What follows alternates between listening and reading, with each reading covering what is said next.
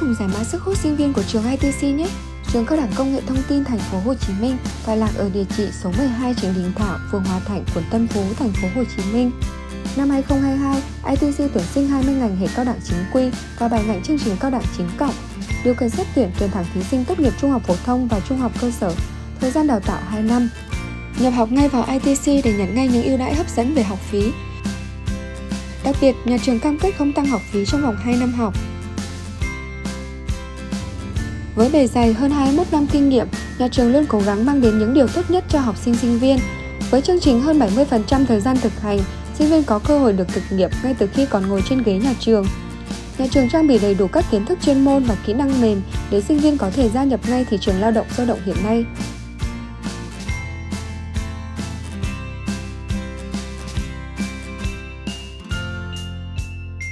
Không chỉ quan tâm đến việc học tập mà nhà trường luôn tạo điều kiện cho các bạn sinh viên được vui chơi giải trí, thể hiện tài năng bản thân sau những giờ học căng thẳng.